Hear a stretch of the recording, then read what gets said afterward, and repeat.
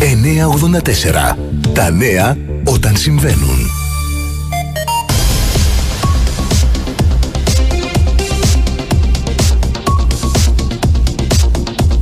Κυρίες και κύριοι, καλό σας μεσημέρι. Αμήλυτο μπήκε σήμερα στο δικαστήριο Χανιών ο 27χρονο Γέννη Παρασκάκης, γιος Παπά και Σαολίν του Μάλεμε, όπως ο ίδιος αυτό προσδιορίζεται, που ομολόγησε την πράξη του με την δολοφονία της 60χρονη βιολόγου Σουζανίτων Στεχανιά. Υπενθυμίζεται ότι ο δικηγόρος που είχε συνοδεύσει τον 27χρονο στον Ισαγγελέα την Τετάρτη, μια μέρα μετά έκανε γνωστό ότι δεν πρόκειται να αναλάβει την υπόθεση. Έτσι ορίστηκε αυτεπάγγελτα από την εισαγγελία συνήγορος για τον 27χρονο, ο οποίος βαρύνεται με τις κατηγορίες της ανθρωποκτονίας, του βιασμού και της παράνομης οπλοκατοχής. Στη δημοσιότητα και τα στοιχεία του για αναγνώριση από τυχόν άλλα θύματα του, καθώς πληθαίνουν οι αναφορές από γυναίκες που κυνηγήθηκαν από ένα άσπρο αυτοκίνητο. Ο Γιάννης Παρασκάκης είναι παντρεμένος και έχει δύο παιδιά. Αγωνία για τον 50χρονο που αγνοείται στη Γάβδο. Ο αγνοούμενος άνδρας ζούσε μόνος του σε αντίσκηνο που είχε στήσει σε παραλία του νησιού και έδωσε τελευταία φορά σημεία ζωής το περασμένο Σάββατο. Από προχθές βρίσκεται σε εξέλιξη μεγάλη επιχείρηση για τον εντοπισμό του σε ξηρά θάλασσα αλλά και από αέρος. Άκραπες μέχρι στιγμής οι έρευνες για τον εντοπισμό του 45χρονου κριτικού Στέλιου Χλωράκη που εξαφανίστηκε πριν από δυόμισι μήνες. Ο αγνούμενος Χανιώτης εξαφανίστηκε την Παρασκευή 3 Μαΐου. Εκείνη την ημέρα εθεάθη για τελευταία φορά από τους γείτονές του την ώρα που έφευγε από το σπίτι του. Έκτοτε δεν επικοινώνησε με κάποιο άτομα του κοντινού περιβάλλοντος και τελικά λίγα 24 ώρα αργότερα συγγενικό του πρόσωπο επικοινώνησε με την Ελλάδα και δήλωσε την εξαφάνισή του. Για την υπόθεση έχει εκδοθεί Silver Alert ενώ έχει ανακοινωθεί και σχετική, ε, αναρτηθεί μάλλον σχετική ανακοίνωση στον ιστότοπο της γραμμής ζωής 1065. Ζευγάρι από τα Χανιά υιοθέτησε τον νεογνώ που άφησε η μητέρα του μετά τη γέννα στο Λασίθι πριν από λίγες ημέρες. Δεν βλέπει ζημιές σου έλεγα από τις βροχές στα μπέλια παρά μόνο ασθένειες και με ανακοίνωσή του διαμηνύει. Με βάση το ύψος και τη διάρκεια των βροχοπτώσεων και το στάδιο ρήμανσης των σταφυλιών, δεν θεωρείται πιθανή η πρόκληση άμεσης ζημιάς, σκάσιμο ρογών στα σταφυλιά. Παρόλα αυτά, τα στελέχη και οι γεωπόνοι του υποκαταστήματος Ηρακλείου διενεργούν συνεχείς επισημάνσεις από 17 Εβδόμου 2019 και εφόσον διαπιστωθούν ζημιές καλυπτόμενε ασφαλιστικά από τον ΕΛΓΑ, θα δοθεί η έγκριση για υποβολή δηλώσεων ζημιάς. Ξεκινά αύριο Σάββατο η διαδικασία ανάγνωση των προγραμματικών δηλώσεων της κυβέρνησης. Κατά τη διάρκεια σύσκεψης στο Μέγαρο Μάξιμο, ο Πρωθυπουργός έδωσε τις κατευθύνσεις. Να προχωρήσουν οι προγραμματισμένες από το ΑΣΕ προσλήψει εντός του 2019 με προτεραιότητα τις 2.450 θέσεις που αφορούν στο Υπουργείο Υγείας. Και επιπλέον να δρομολογηθούν άμεσα και να έχουν ολοκληρωθεί μέχρι το τέλος του έτους 1.500 προσλήψεις αστυνομικών για την ενίσχυση της ομάδας Δίας και την ανασύσταση της ομάδας Δέλτα, όπως είχε δεσμευθεί στην προεκλογική περίοδο ο Πρωθυπουργός. Να δουλεύουμε περισσότερο και να μιλάμε λιγότερο η εντολή Κυριακού Μητσοτάκη προς την κοινοβουλευτική ομάδα του κόμματος. Ομόφωνα και διαβοής εξελέγει επίσης ο Σταύρος Καλαφάτης, νέος γραμματέας της. Ο πρόεδρος της Νέας Δημοκρατίας ζήτησε από τους βουλευτές να δίνουν μάχη κατά του λαϊκισμού καθημερινά στην κοινωνία, αποκρώντα τα ρουσφέτια και την λαϊκίστικη συνθηματολογία, όπως επίσης και να μην υπάρχουν κενά έδρανα από τους βουλευτές της Νέας Δημοκρατίας. Το βήμα της Βουλής επιβραβεύει την ποιότητα και την σκληρή δουλειά, επισήμανε. Ο μέχρι σήμερα υπαρχηγός και υπηρεσιακός αρχηγός μετά την παρέτηση Ανδρικόπουλου, Μιχάλης Κεραμαλάκης, είναι ο νέος αρχηγός της αστυνομίας. Το ΚΙΣΕΑ που συνεδρίασε νωρίς ε, το πρωί σήμερα στο Μαξίμου επικύρωσε την απόφαση ο κύριος Κεραμαλάκης να προαχθήσει αρχηγό της ελληνικής αστυνομίας. Σε δήλωσή του, ο τομέαρχη προστασίας του πολίτη Γιάννης Ραγκούσης αναφέρει: Απροσχημάτιστη επανέκαμψε η καταπάτηση κάθε προγραμματισμένης διαδικασίας αξιολόγησης των στελεχών στα σώματα ασφαλείας παλαιοκομματική λογική προαγωγής του τύπου και δικός μου να είναι και να ξέρει πως εγώ τον ανέδειξα για να μου χρωστάει, προσβάλλει βάναυσα, προσβάλλει βάναυσα κάθε έννοια σύγχρονης και αξιοκρατικής Ελλάδας. Η αναστήλωση του κράτους της δεξιάς, ιδίως στα σώματα ασφαλείας, εξελίσσεται με κλιμακούμενη προκλητικότητα. Τους κοιόδη υπουργούς ανακοίνωσε ο ΣΥΡΙΖΑ πρόκειται για τους τομεάρχες που αναλαμβάνουν να παρακολουθούν κάθε τομέα της κυβερνητικής δραστηριότητας. Κουβάρι του συνταξιοδοτικό για τους Έλληνες πολίτες. Περικοπές, αγωγές, νόμο Κατρούγκαλου, κυρίες επικουρικές και χειρίες προβληματίζουν. Οι νέες κυβερνητικές προτάσεις για το ασφαλιστικό, λέει ο Σάβας Ρομπόλης στον 984, είναι φωτοβολίδα και ουσιαστικά προμηνύουν νέα μείωση των συντάξεων αν εφαρμοστούν, αφού θέλουν ρυθμούς ανάπτυξης πάνω από 4% και μείωση της ανεργίας στο 6% για να μην έχουμε περικοπές στις συντάξεις. Σε ό,τι αφορά την αγορά εργασίας και την αλλαγή του εργατικού δυναμικού, και βλέπει κανείς ότι τα τελευταία 40 χρόνια μειώνεται η σχέση της μισθωτής απασχόλησης και αυξάνεται η σχέση της εξατομικευμένης απασχόλησης. Και... Επομένως το νέο κλίμα του εργατικού δυναμικού, οι freelancer ή αυτοί τελώς απασχολούμενοι, δεν ενδιαφέρονται για τη συλλογική σύμβαση, για τον κατώτατο μισθό, για τις συνθήκες εργασίας, για την υγιεινή και ασφάλεια της εργασίας, για την προοπτική της απασχόλησης, για τη συνδικαλιστική δράση. Το μόνο που τους ενδιαφέρει από τη θέση που έχουν εκταντικημένου στην αγορά εργασίας είναι ότι τους ενδιαφέρει το πόσο φόρο θα πληρώνουν, εάν θα μπορούν να φοροδιαφεύγουν ή όχι, λίγο ή πολύ, πόσο ασφαλιστικές εισφορές θα πληρώνουν. Δηλαδή, περισσότερο τους ενδιαφέρουν ζητήματα που έχουν σχέση με την ε, επιχειρηματικότητα και την επιχειρηματική δράση. Επομένως, αυτό το σώμα φαίνεται τα τελευταία 40 χρόνια σταδιακά και στις Ηνωμένες Πολιτείες και στην Ευρώπη ακούει περισσότερο ελκτικά τις πολιτικές δυνάμεις οι οποίες εκπέμπουν ε, αυτό το λόγο, που είναι συνήθως οι συντηρητικέ ή ακροσυντηρητικέ ε, πολιτικές δυνάμεις. Mm. Και προσπαθούμε με αυτόν τον τρόπο, με αυτή την υπόθεση εργασίας, στο βαθμό βέβαια που το αφορά, γιατί δεν είναι μόνο αυτή η μεταβλητή που επηρεάζει την εκλογική επιλογή, υπάρχουν και άλλες άλλες μεταβλητέ. Εμείς, στο βαθμό που ε, δουλεύουμε και έχουμε μια βάση δεδομένων με την εξέλιξη των μορφών απασχόλησης και της θέσης εργασίας τι διάφορες δεκαετίες που κατέχει το εργατικό δυναμικό, θέλαμε να αναδείξουμε τη συμβολή αυτής της μεταβλητής και στην εκλογική ε, συμπεριφορά. Όπως επίσης υπάρχει ένα άλλο άρθρο, νομίζω, σε στόχο στήλη σήμερα, που έχει δημοσιευτεί στο Euro Today, ναι, ναι. πώ αυτές οι ευέλικτες μορφές, δηλαδή το γεγονός ότι φεύγουν από την μισθωτή απασχόληση και οδηγούνται σε άλλες μορφές απασχόλησης, Αχτσιόγλου εναντίον Βρούτσι και Μηταράκη δίνουν θεσμική υπόσταση στα ψέματά τους με την έκδοση της εγκυκλίου για τις αυξήσεις της σύνταξης χειρία, αναφέρει το Μεάρχη Εργασίας και Κοινωνικής Ασφάλισης του ΣΥΡΙΖΑ, επισημένοντα οι αυξήσεις στι συντάξει χειρία αναδρομικά από την ψήφιση του νόμου 4611 του 19 είναι μέτρο που έλαβε η προηγούμενη κυβέρνηση. Από την πρώτη στιγμή ήταν γνωστό ότι για την εφαρμογή των αυξήσεων θα απαιτηθεί ένα χρονικό διάστημα που έχει να κάνει αποκλειστικά και μόνο με την προετοιμασία του μηχανογραφικού συστήματος του ΕΦΚΑ, η οποία έχει ξεκινήσει άμεσα και βρίσκεται σε εξέλιξη. Τίτλοι τέλους για το ΣΔΟΕ, η ειδική γραμματεία καταργείται και οι αρμοδιότητες της, οι θέσεις στο προσωπικό και οι εποπτευόμενοι φορείς της μεταφέρονται στη νέα Γενική Γραμματεία Φορολογικής Πολιτικής και Δημόσιας Περιουσίας, όπως προβλέπει το Προεδρικό Διάταγμα. Αντίθετος με την απόφαση της κυβέρνησης, ο πρώην αναπληρωτής Υπουργός Οικονομικών, Τρίφωνα Αλεξιάδης, μιλά για απόφαση δώρος σε φοροφυγάδες λαθρέμπορους και άλλους οικονομικούς εγκληματίες.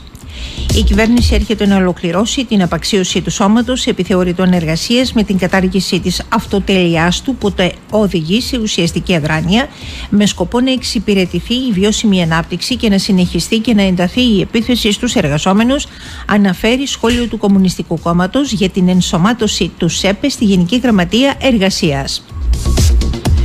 Το Κομμουνιστικό Κόμμα επισημαίνει πως αν μέχρι σήμερα με αυτό τον απαξιωμένο μηχανισμό, απόρρια της ίδιας λογικής που ακολούθησε και η προηγούμενη κυβέρνηση του ΣΥΡΙΖΑ για τον έλεγχο 220.000 επιχειρήσεων από 251 επιθεωρητές, απαιτούνταν 20 χρόνια. Τώρα με την απόφαση της κυβέρνησης, οι εργοδότες θα ξεσαλώσουν στην, στην παρανομία σε βάρος των εργατών που θα τους τσακίζουν σε ατέλειωτες ώρες εργασίας, χωρίς την καταβολή εισφορών στα ασφαλιστικά ταμεία, χωρίς τα στοιχειώδη που επιβάλλουν οι εναπομείνασες συμβάσεις εργασίας, όπως αναφέρει ενδεικτικά. Αντιδρά την ίδια ώρα η ΠΟΕΟΤΑ στην απόφαση κατάργησης του ΆΜΚΑ σε ετούντες άσυλο.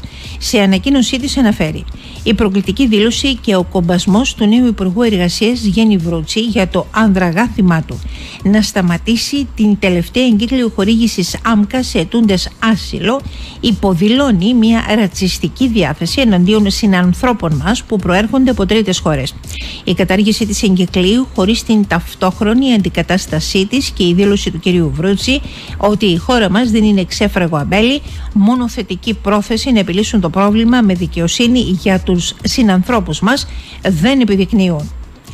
Πιο ακριβά γίνονται τα μετρητά για τους καταναλωτές που χρησιμοποιούν την, υποχρεωτική, την χρεωστική τους κάρτα για να κάνουν ανάληψη από ATM άλλης τράπεζας από αυτή που έχει εκδοθεί η κάρτα τους. Η προσαρμογή των προμηθειών που χρεώνονται για την ανάληψη από ATM, ATM άλλης τράπεζας θα ξεκινήσει από την ερχόμενη εβδομάδα, πιθανότατα τη Δευτέρα και γίνεται ξεχωριστά από κάθε πιστοτικό ίδρυμα ανάλογα με την διάρθρωση του δικτύου του και την επιχειρηματική του πολιτική. Τραπεζικά στελέχη υποστηρίζουν πως το υψηλό κόστος λειτουργίας των ATM αναγκάζει τα ιδρύματα να χρεώνουν προθεσμία σε όσους δεν είναι πελάτες τους και κάνουν αναλήψεις από τα μηχανήματά τους.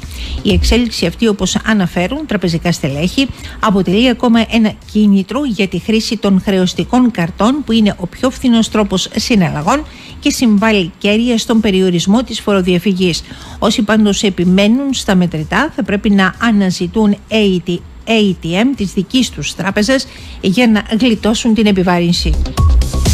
Την παράταση στην υποβολή των φορολογικών δηλώσεων ζητούν οι φοροτεχνικοί του Ηρακλείου με επιστολή που απέστειλαν προς τον Υφυπουργό Οικονομικών, τον κύριο Βεσιρόπουλο, η Ένωση Φοροτεχνικών Συγκεκριμένα Ελεύθερων Επαγγελματιών Ηρακλείου, αφού πρωτίστως ενημερώνει τον νέο Υφυπουργό για την κατάσταση του TaxisNet και με δεδομένο πως εκκρεμούν περισσότερες από 1.500.000 δηλώσεις, ζητά την παράταση της σχετικής προθεσμίας έως και τις 10 Αυγούστου άγνωστες πτυχές της κυπριακής τραγωδίας με την τουρκική εισβολή 45 χρόνια πριν αλλά και την ηρωική και ελάχιστα γνωστή δράση της πρώτης μοίρας αλεξιπτωτιστών καταδρομών που από το Μάλεμε βρέθηκαν στην Κύπρο και διέσωσαν την τιμή των ελληνικών όπλων κρατώντας με ελάχιστες δυνάμεις το αεροδρόμιο της Λευκοσίας για να μην πέσει στα χέρια των Τουρκών περιέγραψε σήμερα μιλώντας στον 984 ο τότε ταγματάρχης και υποστράτηγος εν αποστρατεία Βασίλειος Μανουράς.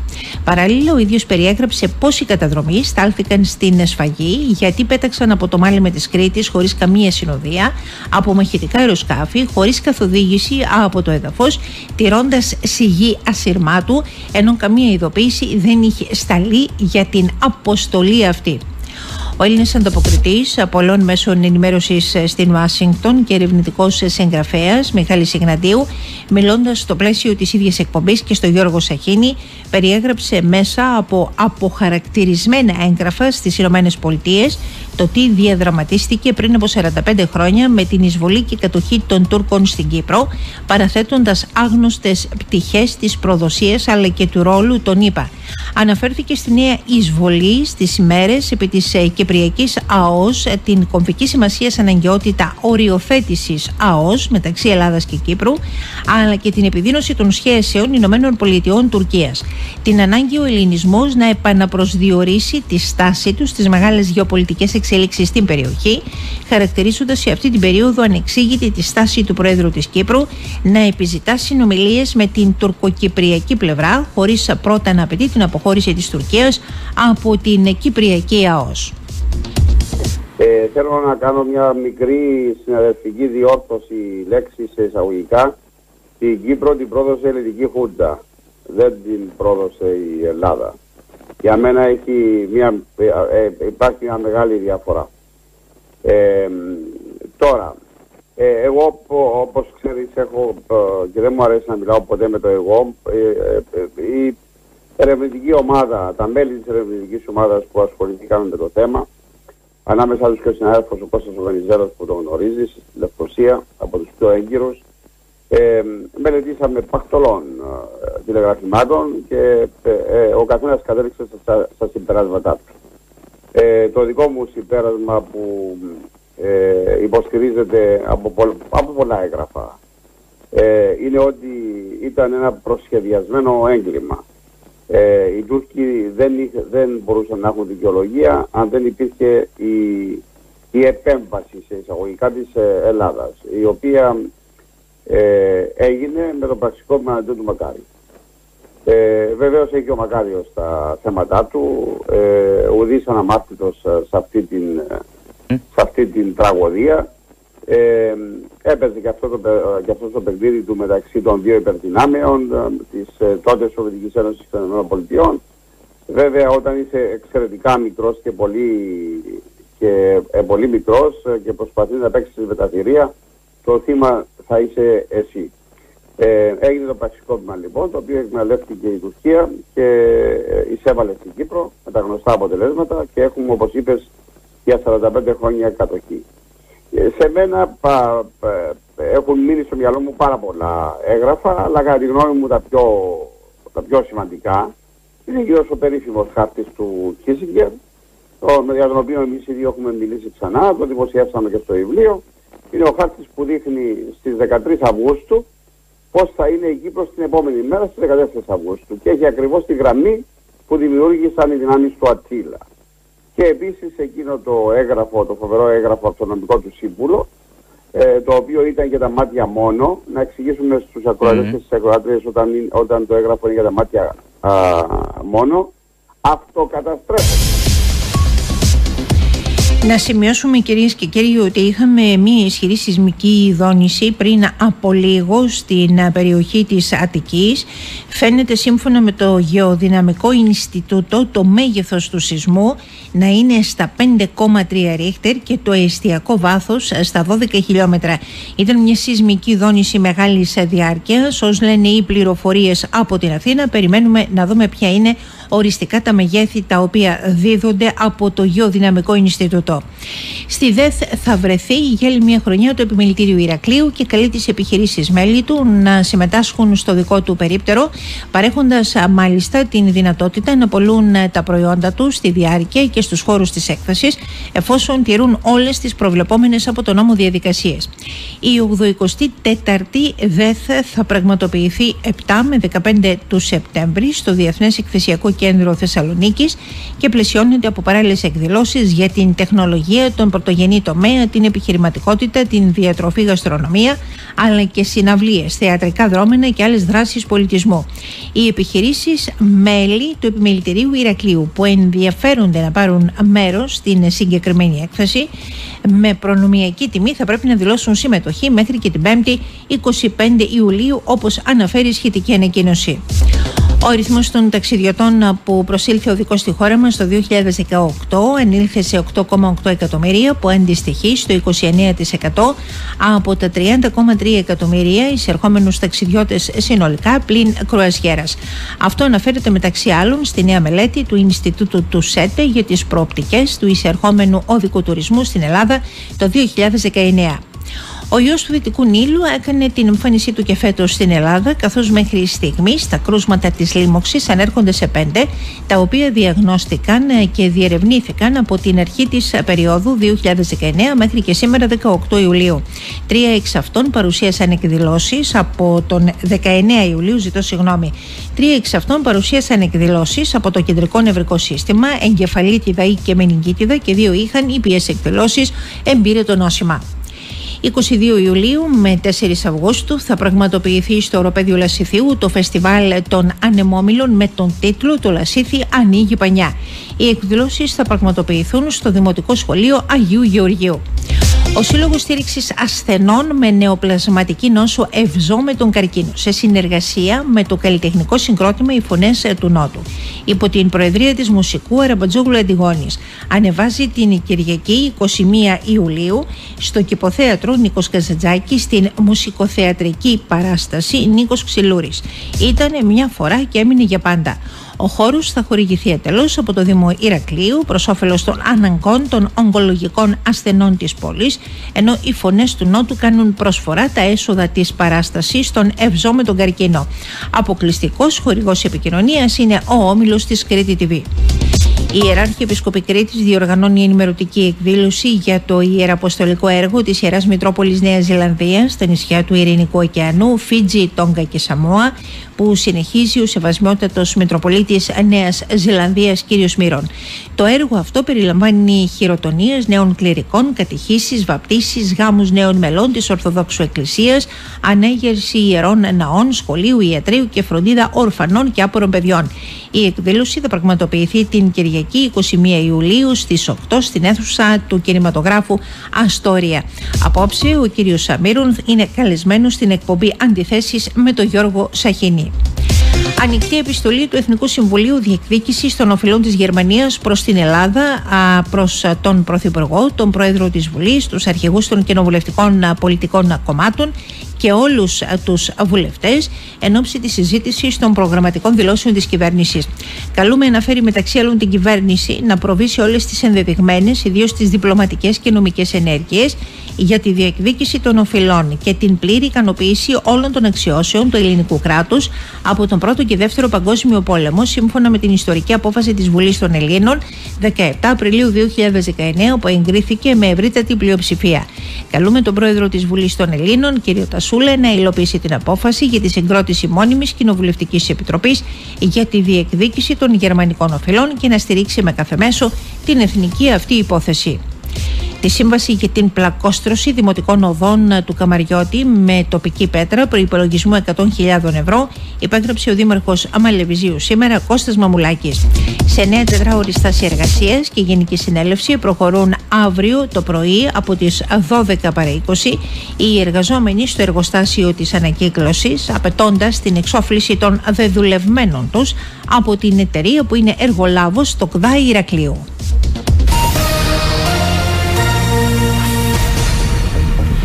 Οι ένοπλες δυνάμεις της Τουρκίας εξαπέλυσαν εκτεταμένες αεροπορικές επιδρομές εναντίον θέσεων του Εργατικού Κόμματος στην επικράτεια του Ιράκ σε αντίπεινα για την επίθεση η οποία στήχησε τη ζωή ενός Τούρκου διπλωμάτη στην Αρμπίλ ε, όπως ανακοίνωσε ο Τούρκος Υπουργός Άμυνας ο Χουλουσία Καρ.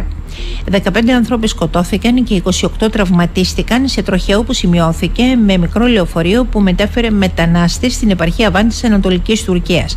Σύμφωνα με το πρακτορείο Ντόγκαν, ανάμεσα στα θύματα περιλαμβάνονται γυναίκες και παιδιά. Ο Ντόναλτ Τραμπ δήλωσε ότι αμερικανικό αεροπλανοφόρο κατέριψε ιρανικό τηλεκατευθυνόμενο μη επανδρομένο αεροσκάφος στο στενό του Χορμός, αφότου αυτό προσέγγισε απειλητικά το αμερικανικό πλοίο, πετώντας σε απόσταση μικρότερη από χίλιες γιάρδες. Ρεκόρ ζέστης των τελευταίων 70 ετών κατέγραψε στο το Ισραήλ την ώρα που οι πυρκαγιές που μένονται στη χώρα ανάγκασαν τις αρχές να εκενώσουν περιοχές απομακρύνοντας εκατοντάδες ανθρώπους. Ο υδράργυρος έφτασε στους 49,5 βαθμούς Κελσίου κάτι που συνιστά ρεκόρ τουλάχιστον από το 1948 όταν δηλαδή ιδρύθηκε το κράτος του Ισραήλ όπως ανακοίνωσε η Ισραηλινή Μετεωρολογική Υπηρεσία. Στο νοσοκομείο κατέληξαν 14 άτομα μετά από κόντρες που έκαναν αργά τη νύχτα στην Αγγλία νεαρή οδηγή. Τραγικό δυστύχημα στη Βρετανία καθώς 14χρονο αγόρι έχασε τη ζωή του ενώ συμμετείχε σε σχολικούς αγώνες. Ο άτυχος νεαρός στην ώρα των αγώνων ε, κατέρευσε, έπεσε μέσα σε λάσπη και κατάπιε αρκετή ποσότητα από αυτή. Ω ένα προμελετημένο έγκλημα χαρακτηρίζουν τα Ιαπωνικά μέσα ενημέρωσης ε, και οι αρχές τον εμπρισμό σε στούντιο ανημασιών στο Κιώτο της Ιαπωνίας που στήχησε τη ζωή σε 35 άτομα ενώ άλλα 10 παλεύουν να κρατηθούν στη ζωή. 984 Νέα και σπορτς στην ώρα τους. Τρίτο φιλικό παιχνίδι σήμερα για τον Όφη με την Open στο Βέλγιο. Στη δύναμη του εργοτέλη μετά τον Ντομινίκ Σπυρία και η Βίτορ Μπαράτα από την Πορτογαλία και Αρτούρ Μποτέ από την Βραζιλία η πρώτη προπόνηση της ομάδας έχει οριστεί για τη Δευτέρα. Στον τελικό της πυροβολίας στο Ευρωπαϊκό Πρωτάθλημα Στίβου κάτω των 20 ετών που γίνεται στη Σουηδία θα αγωνιστεί σήμερα το βράδυ ο χανιώτης πρωταθλητής Χρήστος Φρατζεσκάκης διεκδικώντας μια θέση στο βάθρο. Ο αθλητικός υπηκός ομιλός Κρήτης, μέλος της Ελληνικής Ομοσπονδίας Υπασίας, οργανώνει με την στήριξη της Περιφέρειας Κρήτης ε, τον 7ο και 8ο διασυλλογικό αγώνα που θα πραγματοποιηθεί ε, στον Απροφή δεύτερο χιλιόμετρο προς εκεί Παρίσι το Σάββατο 21 και Κυριακή 21 Ιουλίου στις 10 το πρωί. Τα αγωνίσματα περιλαμβάνουν υπηκή δεξιοτεχνία και υπερπίδηση εμποδίων ενώ η είσοδος είναι ελεύθερη. 984. Ο καιρός. Πριν σας δώσω τα νέα για τον καιρό, να σας δώσουμε νεότερα αναφορικά με αυτή την ε, σεισμική δόνηση που α, ήδη σας έχουμε ενημερώσει και σημειώθηκε στην Αθήνα κυρίες ε, και κύριοι. Λοιπόν, το εστιακό βάθος στα 12,9 χιλιόμετρα σύμφωνα με το Γεωδυναμικό Ινστιτούτο και επίκεντρο 23 χιλιόμετρα βορειοδυτικά της Αθήνας.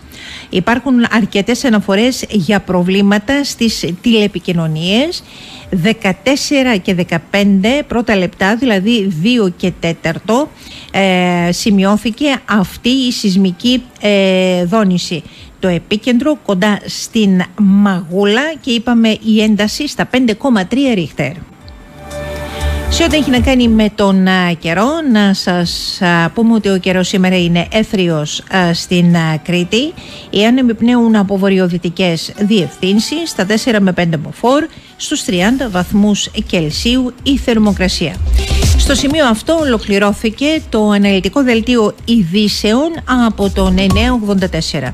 Στο στούντιο του σταθμού Αγγέλα Δουλγεράκη και Κατερίνα Δασκαλάκη. Καλό σας μεσημέρι. 984. Για να είσαι μέσα σε όλα. Σε, μέσα σε όλα. Σε,